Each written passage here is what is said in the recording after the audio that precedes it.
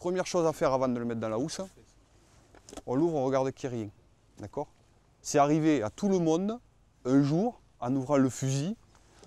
Ah ben mais la dernière fois j'avais oublié. D'accord? Donc ça c'est la première chose à faire.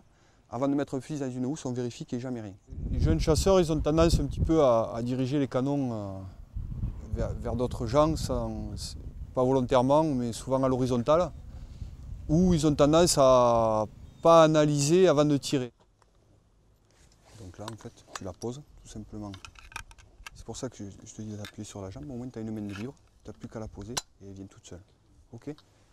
Pratiquement tous les accidents sont dus au, fait de l'homme et rarement euh, des machines. Donc si les gens prenaient un petit peu le temps d'analyser et respecter donc, toutes les consignes qu'on leur donne, euh, je pense que certains accidents seraient évités. Malheureusement, le risque zéro n'existe pas.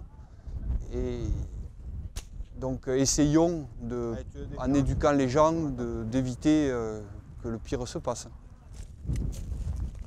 Une fille, c'est sûr que ça préfère aller faire de la danse, mais euh, moi non. Moi, c'est euh, c'est pas parce qu'on est une fille qu'on ne peut pas aller chasser. hein. C'est comme un garçon. hein.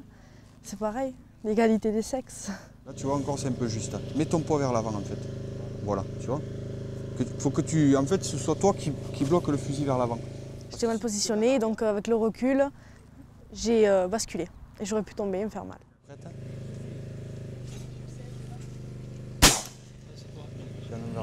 Le gibier sort, les gens euh, ont toujours tendance à, à croire que ce qui va sortir de la traque est forcément un gibier.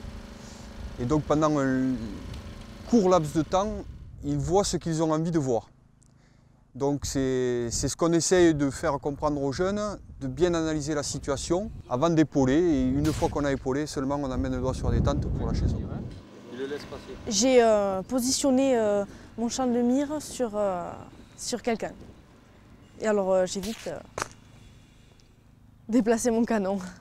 C'est vrai qu'il y a la, la quête tout au long de la journée d'un gibier et lorsqu'on le voit, on a tendance à, à- à- à se laisser aller alors que c'est à ce moment-là justement qu'il faut être très vigilant et bien analyser toutes les situations possibles. Faut pas croire que quand on va à la chasse, c'est pour euh, ramener quelque chose de suite. Si on ramène euh, rien, c'est pas grave, on a vu le gibier, c'est tout aussi bien.